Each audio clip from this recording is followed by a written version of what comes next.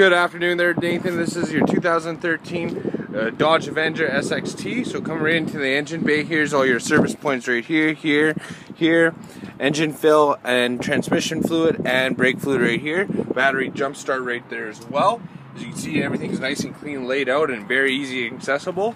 I won't bore you too much underneath here.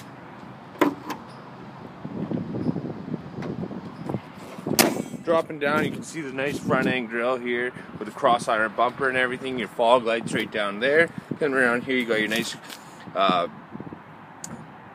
50, 16 inch uh, alloy wheels. Actually, 18 inch alloy wheels with decent amount of tread left on the tires. And then come right into here.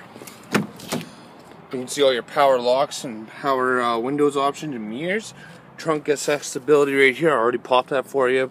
Then you got all your settings on your steering wheel here, cruise control and all that good stuff. And then coming right in here, Sirius satellite radio, auxiliary, and all the good stuff in here. Heated seats. And then pop this open here. You got US uh, 12 volt capabilities in there as well. Nice another one over here, which is very nice. Coming into the back here there. See how much room you do have in here. Also, these are the 60-40 split, so you can have straight accessibility right into there. And then coming right into the back, got a nice big trunk right in here as well for any uh, extra activities.